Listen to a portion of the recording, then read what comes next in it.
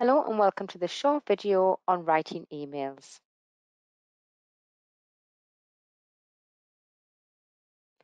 So one of the main things we need to remember about emails are that if it is to a company or someone important, then formal language and tone is needed. If it is to family and friends, it can be more relaxed and informal.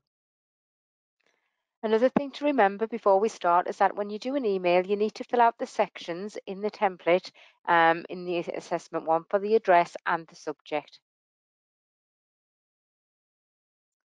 So emails are similar to a letter in format such as the greeting, the introduction and the body of the text.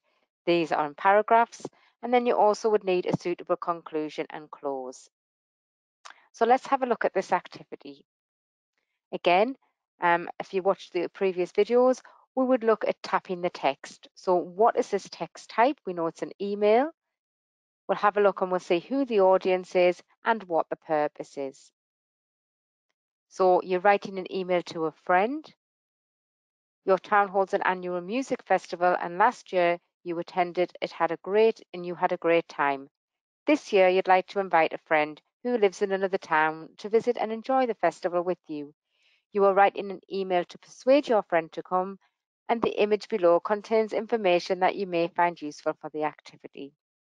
So to tap the text, you know the text is an email. You know it is to a friend, is the audience, and it is to persuade. So email, friend, and persuade.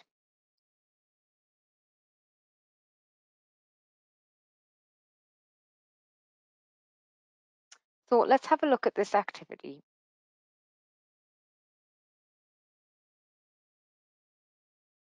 This is a possible response.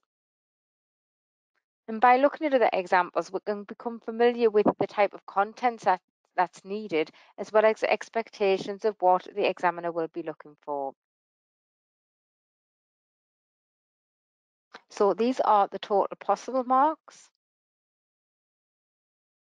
I'll give you a few moments to go through the answers to see what you would, in the mark scheme, to see what you would actually give this piece of writing.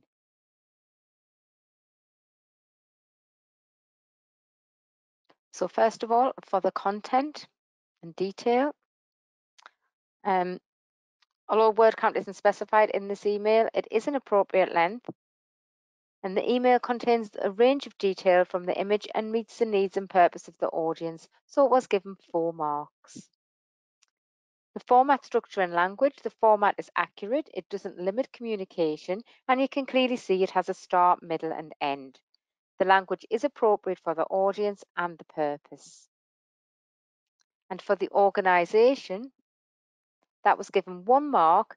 It contains paragraphs, but the sentence structure is basic.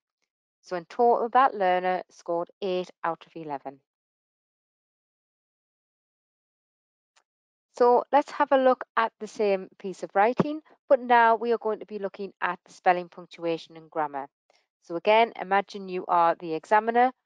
What would you be giving this learner for the spelling, punctuation and grammar? It's out of a total of nine, so each one is out of a total of three. Again, you may want to pause the recording while you do this.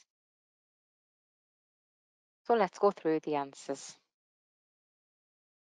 So for the spelling, there are some errors with common and compound words such as the word course and campsite, festival, circus and sea.